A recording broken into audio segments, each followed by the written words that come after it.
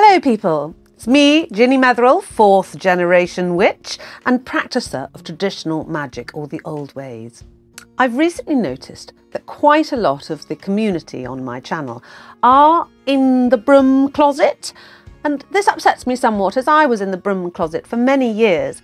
And I don't blame them because coming out can be difficult and quite scary.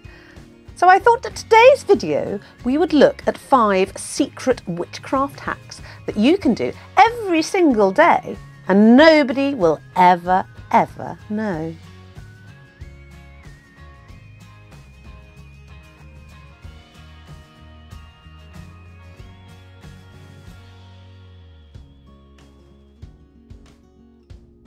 It was difficult for me to come out of the broom cupboard and quite scary.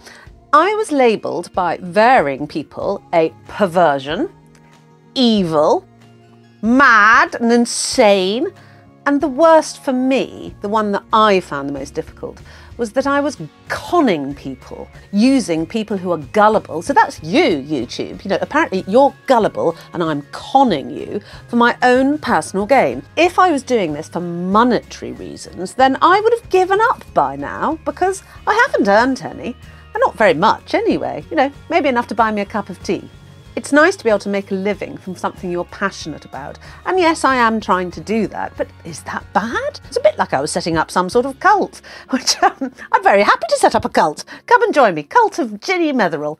Personally, I think that you're quite intelligent and well able to make up your own minds.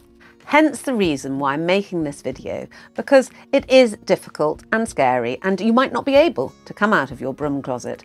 And so I wanted to show you how you could incorporate witchcraft into your everyday and nobody would ever know. So number one, of course, is your Book of Shadows.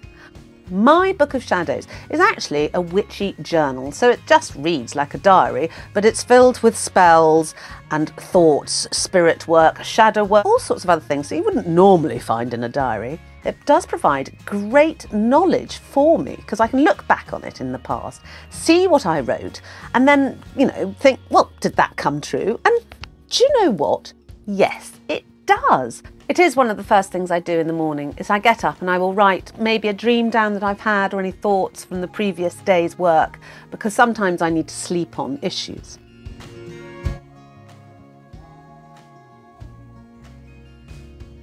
The second thing I like to do is affirmations and intentions. Now this is basic spellcraft and this is really easily done through food.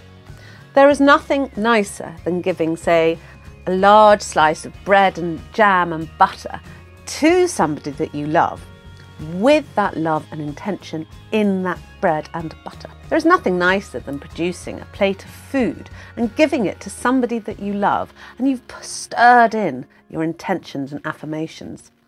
I often find that witches are incredibly natural cooks. I think it's all that stirring of cauldrons that they used to do in the olden days.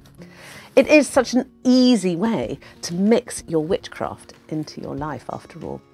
And kitchen witchery is something that most of us do all the time, and sometimes without even realising it. Think of that birthday cake when you make that special celebration for someone that you love. They put the candles, make a wish, and blow it out. Pure witchcraft. Wonderful. The third thing is glamour magic. You may have heard this. Glamour magic is simply that magic that changes your look. You're not physically changing your look, but you are changing the way you are seen by another person. Now, this is something I probably do every time I put on my makeup. When I put on some lip gloss, I made my lips kissable. Perfect. And that is such an easy way of doing glamour magic. Before you put your makeup on, for example, you can cast a circle, stand in the circle, and say, Let all this makeup I'm putting on help me look as if I am a strong, confident woman and become a strong, confident woman. So you can put a spell on your lipstick. And what I mean by that is that you can hold it in your hand and push your intention into it so that every time you put your lipstick on, you are putting on the intention for you to be beautiful, kissable, lovely to others. And then, as you reapply, you become so. That's a nice easy spell, and I like doing that quite often. Have you noticed my earrings? They're very beautiful, aren't they? Rock crystal and silver. I bought them because I liked them. However, I found that they actually help me. This is my pendulum. Slightly similar, don't you think? And it is because I'm wearing these earrings my pendulum and I can pick up each other's vibes a lot quicker. They sort of amplify the energy that I'm using. So my earrings are pure witchcraft. Now I discovered this completely by chance for these particular earrings, but I've been wearing an amethyst ring for many years now. And this is a healing and magical grounding stone gives me all of those substances every time I put it on. Now this, of course, secret witchcraft. Who's going to know that my earrings amplify my pendulum when I use it? My amethyst ring gives me a greater grounding in my life on a daily basis when I put it in. This is top class secret witchcraft.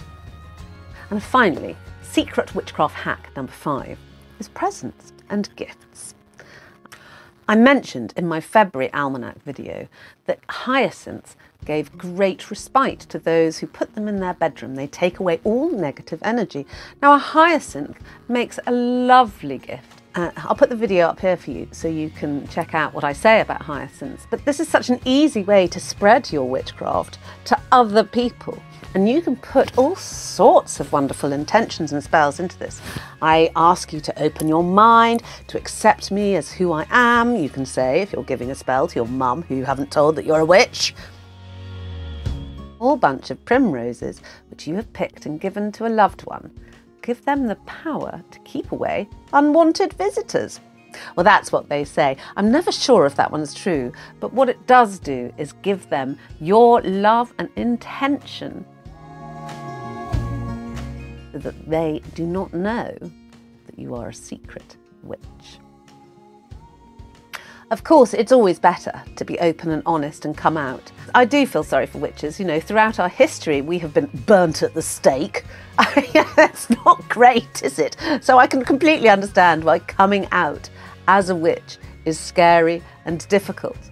However, hopefully, use your daily witchcraft hacks, and this will set you on the right path. I hope you enjoyed this video.